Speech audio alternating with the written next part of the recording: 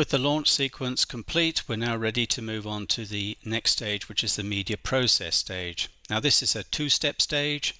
The first step is to get uh, some form of confidence that the video editor can actually create an MPEG-4 file to the standards and my requirements. Now the project before you is rendered into a MPEG-4 file. I call this project the biometric scanner.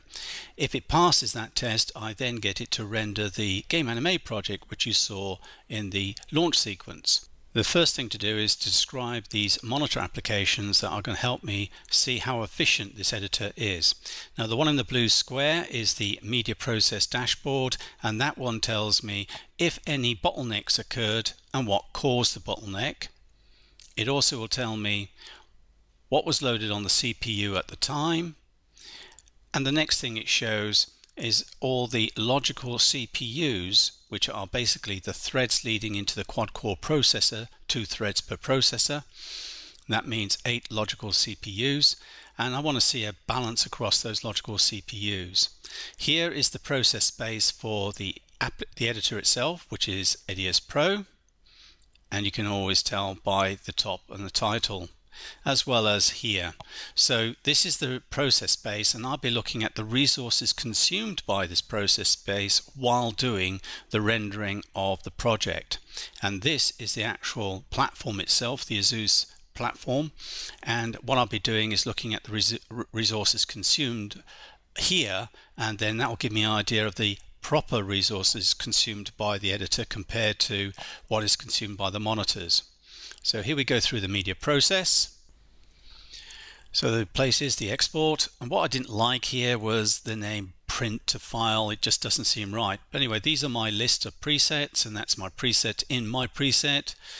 Uh, one I've already created and how you do that is you pick a standard preset and then you do tweaks. This will tweak the video side and this will tweak the audio and then you'd save this preset. What I don't like is the way this process or workflow goes.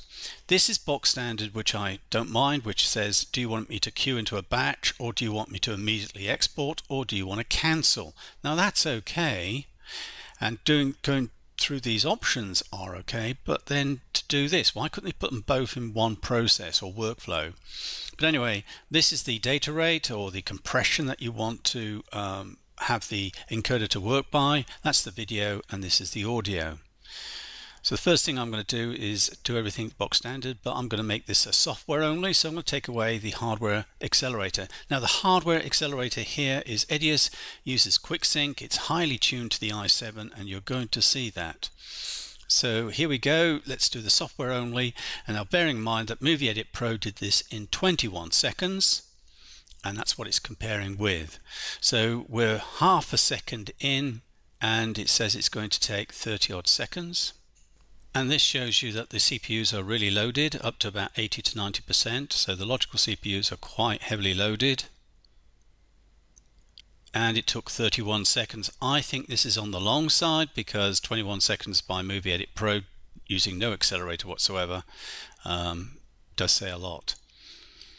So let's now do the same process but this time use the hardware accelerator. As I said before, this is going to use the HD 4000. This is highly tuned for the i7.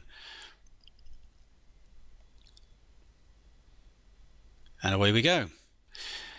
Being this is such a small file, only 16 seconds long, you're not going to get much time to do anything, but look at that. The same uh, point of entry as the last time, which said 31 seconds, it's saying it's going to do it in five. A considerable saving in time. Um, uh, there's a lot to say about having the right libraries to do the job and if you use the i7 correctly no special hardware it's on the platform it can actually do the job and there you go, six seconds. That is a considerable saving and one of the fastest ever times on all of the project editors. So it also passed the test.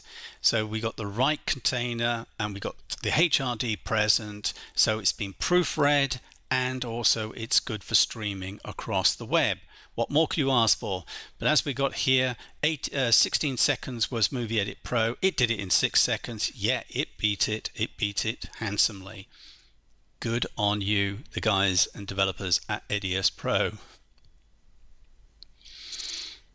So we're now going to render the project, the Game Anime project, which you saw me load at the launch sequence. Subtle um, changes here. Essentially, everything is kept to the same numbers as you will see. All the video editors went through this number. Um, I did two sets, one using an average of six and a max of eight, and the other one using a higher quality setting, which means less compression. Now it's actually predicting it will um, build or render the project in one hour, 50 minutes, say two hours. Now when these things start earlier on, it hasn't divided up the workload properly, so that time is normally a guesstimate. But when you start seeing it go in, you should start seeing the time come down. And did this come down? We're now looking at 53 minutes. This is sub one hour. This beats a lot of video editors. In fact, if it continues and passes, it will be the fastest um, editor of them all. And when I look at the resources, it's actually being quite efficient. And what I find very good about this is it is using the logical CPUs effectively as well as using the HD 4000 effectively. Now the GPU doesn't register here because it's actually looking at the NVIDIA device. Unfortunately I couldn't get this to look at the HD 4000. Right, if you look at the bottom right hand corner, the blue graphs is spiking. That's an indicator a lot of I.O. operations are taking place, which is an indicator that it's come to the end of rendering, and it has. 55 minutes. Movie Edit Pro 2014 did this using QuickSync 3 in 1 hour 20 minutes and this done it in 55. That is a very good affirmation of using the i7 properly.